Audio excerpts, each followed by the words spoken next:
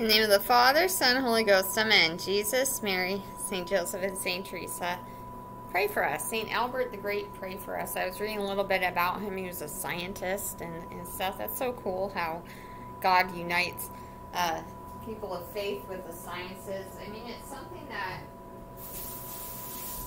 in our day and age, we just kind of shirk away from because when we hear the word science, we think think of all this horrible stuff they're doing in these labs. That's totally against uh, morality, and it's like Frankenstein stuff. And, and you just, you know, the whole cloning thing and the, uh, you know, Father Michael Rodriguez said they're trying to get and trying to unite animals and humans in this petri dishes and create like these transhuman things and all this and uh you know, the IVF, and we just gotta like cry when we hear about this stuff. It's so against our Lord's uh, plan for humanity and for the world.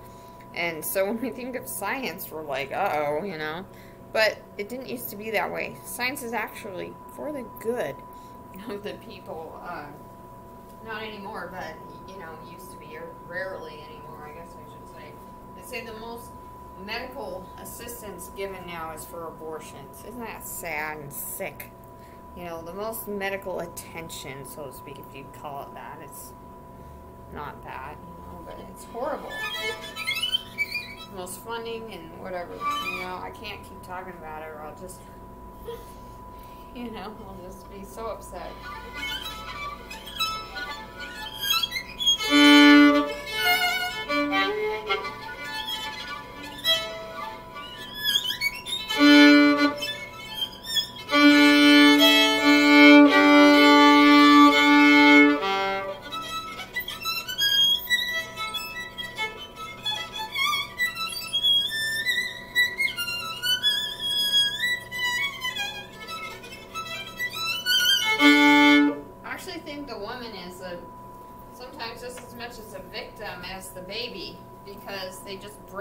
These these girls to think that they don't shouldn't have their babies, you know.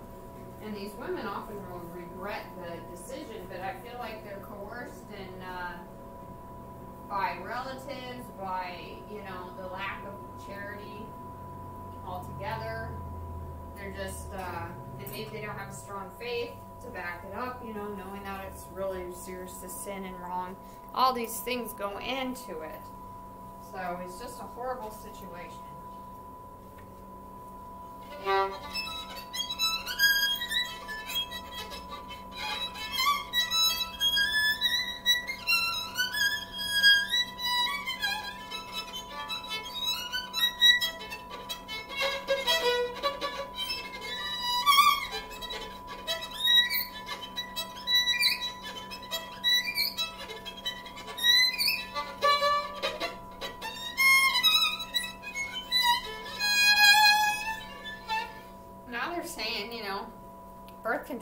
Cause abortions, and that's sad too because if you're birth control, then you have to go through and think, well, my goodness, you know, did that happen to me? You know, because they they didn't tell you that when they signed you up, you know.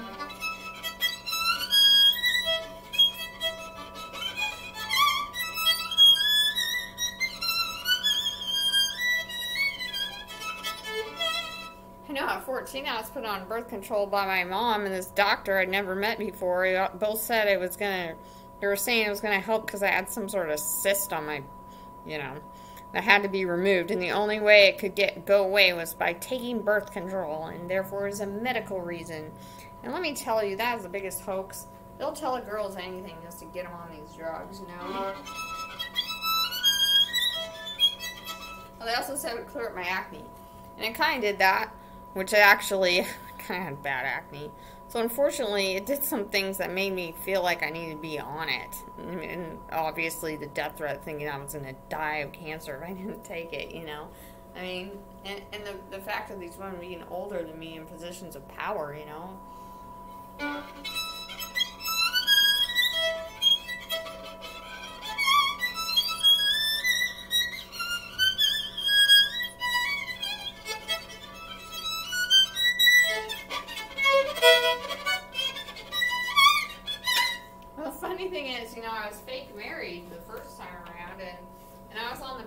Time. Well, I decided after getting married, I was just going off the pill. It's like, you know, I'm married now, I'm getting off.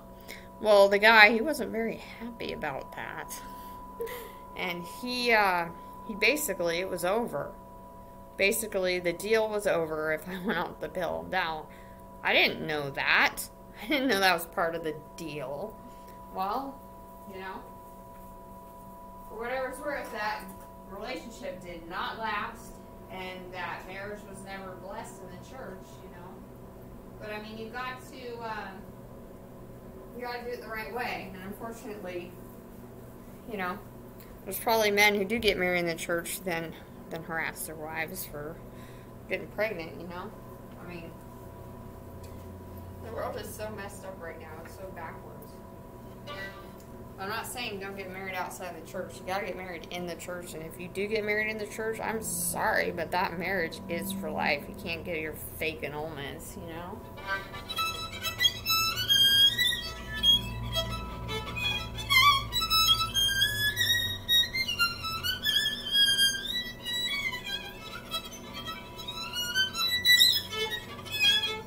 And my, my mother, you know, she has such hatred for my father. And what is hate? But hate is sustained anger.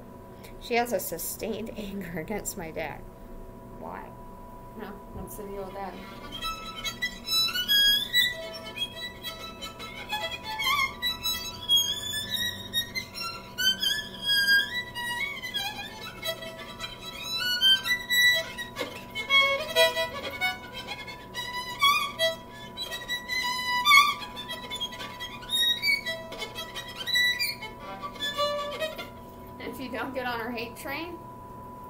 Gone. You know, she'll exterminate you. You know, you're just out. You know.